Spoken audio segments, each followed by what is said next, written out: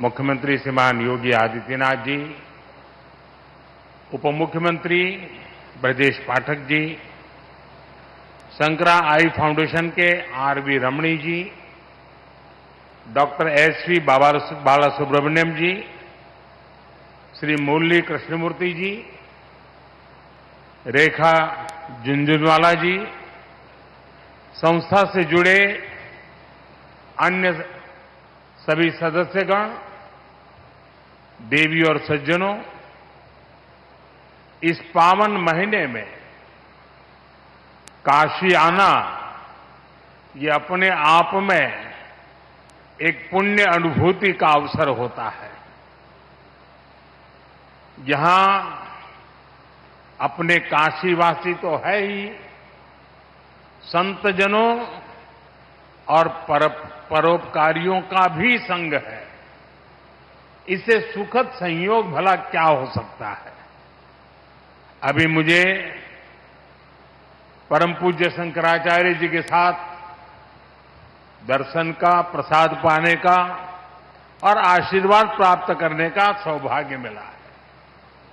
उनके आशीर्वाद से ही आज काशी को, पूर्वांचल को एक और आधुनिक अस्पताल मिला है। भगवान शंकर की नगरी में आरजे शंकरा नेत्र अस्पताल आज से जन जन के लिए समर्पित है।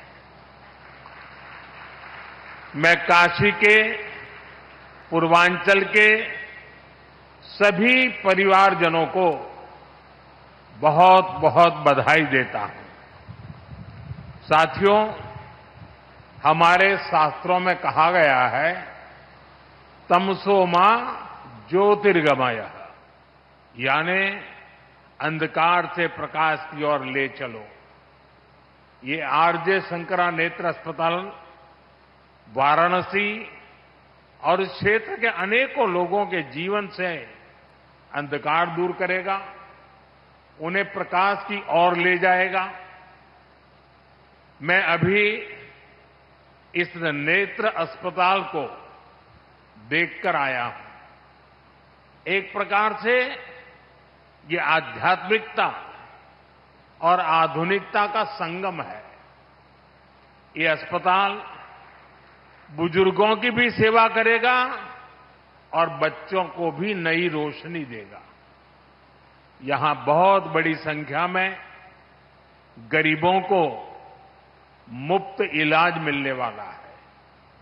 ये नेत्र अस्पताल यहाँ के युवाओं के लिए रोज़गार के भी नए अवसर लेकर आया है। यहाँ मेडिकल कॉलेजों के छात्र इंटर्नशिप कर पाएँगे, प्रैक्टिस कर पाएँगे, सपोर्ट स्टाफ के तौर पर भी यहाँ के अनेकों लोगों को काम मिलेगा। साथियों, संकरा आई फाउंडेशन के इस नेक काम से जुड़ने का इसके पहले भी मुझे अवसर मिला है। मैं जब गुजरात का मुख्यमंत्री था, तब वहाँ भी संकरा नेत्र अस्पताल खुला था। और आपके गुरुजी के सानिध्य में मुझे उस काम को अवसर मिला था। और आज मुझे आपके सानिध्य में इस कार्य का अवसर मिला है। और मेरे लिए एक बहुत संतोष का विषय है। वैसे पूज्य स्वामी जी ने बताया भी, मेरा एक और सौभाग्य रहा है। श्री कांची कामकोटी पीठाधिपति जगत गुरु शंकराचार्य चंद्रशेखर सरस्वती महास्वामी लिंग मिगल का मुझ पर बड़ा आशीर्वाद रहा। परमाचार्य जी को अनेक बार उनके चरणों में बैठने का मुझे सौभाग्य मिला था। परम पूज्य जगत गुरु शंकराचार्य, श्री जयेंद्र सरस्वती, स्वामी गल जी का मुझे बहुत स्नेह मिला। उनके मार्गदर्शन में मैंने अनेक कार्यों को पूरा किया और अब जगत गुरु शंकराचार्य श्री शंकर विजेंद्र सरस्वती जी का भी मुझे सानिध्य मिल रहा है। यानी एक प्रकार से तीन गुरु परंपराओं के साथ नाता जुड़ना, इससे बड़ा जीवन का सौभाग्य क्या हो सकता है? ये मेरे लिए व्यक्तिगत तौर पर बहुत बड़े संतोष का विषय है।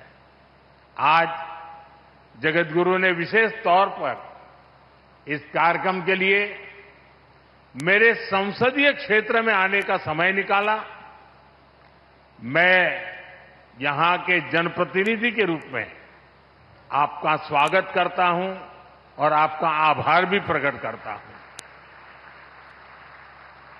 साथियों, आज के दिन मेरे मित्र राकेश झुंझुनवाला जी की याद आना भी बहुत स्वाभाविक है।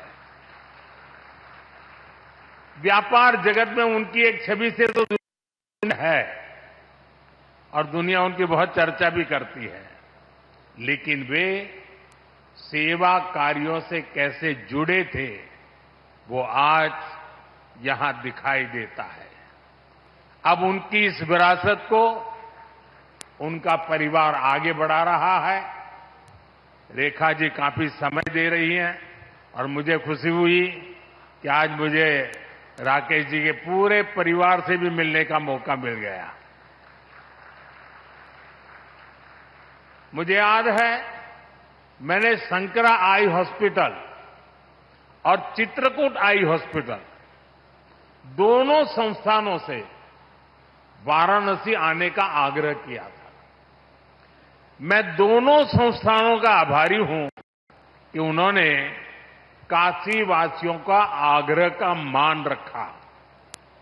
बीते समय में मेरे संसदीय क्षेत्र के हज़ारों लोगों का चित्रकूट आई हॉस्पिटल में इलाज किया गया है। अब यहाँ के लोगों को वाराणसी में ही दो नए आधुनिक संस्थान मिलने जा रहे हैं। साथियों, काशी की पहचान अनंत काल से धर्म और संस्कृति की राजधानी के रूप में रही है। अब काशी यूपी के पूर्वांचल के बड़े आरोग्य केंद्र हेल्थ केयर हब के रूप में भी विख्यात हो रहा है। बीएचयू में ट्रॉमा सेंटर हो, सुपर स्पेशलिटी अस्पताल हो, दीनदयाल उपाध्याय अस्पताल और कबीर चौरा अस्पताल में सुविधाएँ बढ़ाना हो, बुज़ुर्गों के लिए, सरकारी कर्मचारियों के लिए विशेष अस्पताल हो, मेडिकल कॉलेज हो, ऐसे अनेक कार्य काशी में दशक में हुए हैं।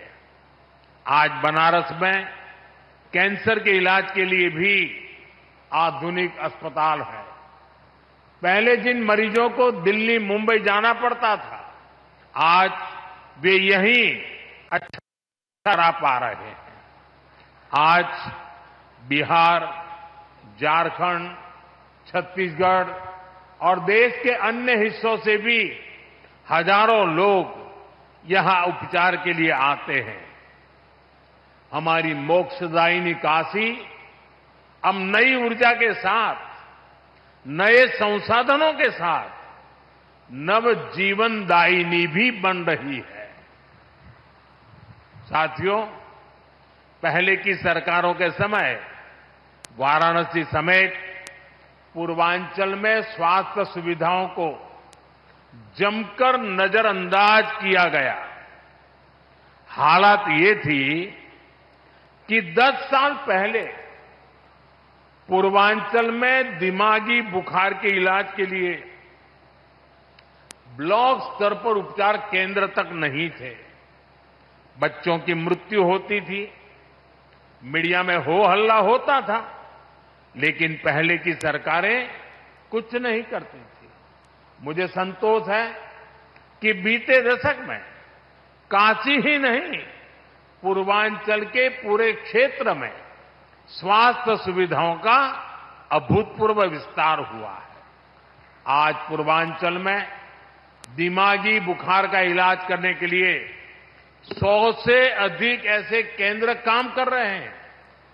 दस सालों में पूर्वांचल के प्राथमिक और सामुदायिक केंद्रों में दस हज़ार से अधिक नए बेड जोड़े गए हैं।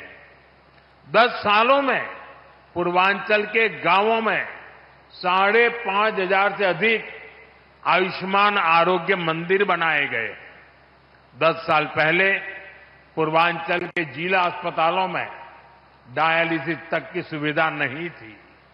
आज 20 से अधिक डायलिसिस यूनिट्स का काम कर रही है, जहाँ मरीजों को यह सुविधा मुफ़्त मिल रही है।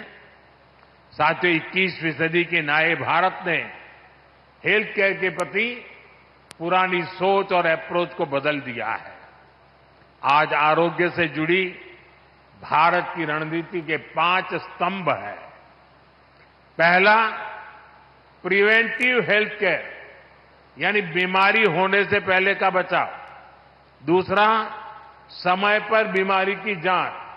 तीसरा, मुफ़्त और सस्ता इलाज, सस्ती दवाएँ। चौथा छोटे शहरों में अच्छा इलाज डॉक्टरों की कमी दूर करना। और पांचवा, स्वास्थ्य सेवा में टेक्नोलॉजी का विस्तार।